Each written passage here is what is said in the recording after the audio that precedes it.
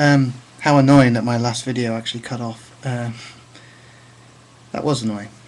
Uh, just uh, yesterday I recorded that video for the, um, the very unique existence boys. Um, the point I was saying about the body being piezoelectric and that sound wave being a pulse wave is that every time a sound wave hits you, you don't just hear it with your ears. You hear it with your entire body. Your, your entire body becomes electrified with that pulse wave. So as the pulse, pulse wave hits you, boom, it electrifies your body. Thus, when you're hearing music, there is a resonance effect. Now, here's the thing, um, how to explain this in a very brief way for you YouTubers. Every wave either adds together or takes away from itself, from, from another wave. When you put two waves together, they either add together or they subtract from each other.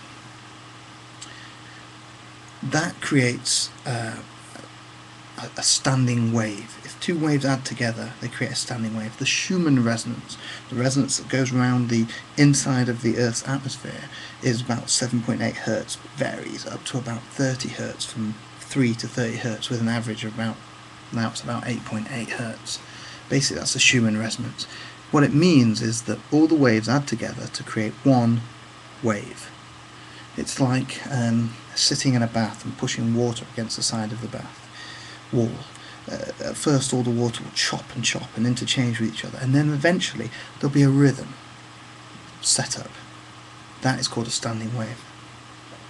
The point here is that when sounds come to your body and pulse into your body, you interact with them and all the waves going on in your brain, in your thoughts, in your feelings, everywhere, they all interact and they accumulate to form a standing wave. So your standing wave can be increased and altered to by music. Now, obviously, you've got the cognitive aspect of the words, you know, oh, I thought I should kill myself and then I thought not, you know, yeah, that's very good. But there's more than that. There's a language within the language. And even if you um, listen to music in another language, you can get the vibe. And the vibe is musical resonance. So it's in musical resonance that we find most of our um, our, our emotional and cognitive movements. That's why the words are irrelevant, but the essence with which the musicians play, that's that's really what it's about, and that's what these you know very unique existence boys are, are doing there. They're they're they're harnessing intent in their, if you like, hearts, for want of a better word. You know, let's try and stay away from the hippie aspect here because this is all physics. It's all physics. Uh, films to check out What the Bleep Do We Know? Good physics film. There's a new film called The Living Matrix made by some friends of mine. Uh, you check out also the Conscious Media Network, some fantastic uh, videos, all free, all this stuff you can get online. Um, keep exploring.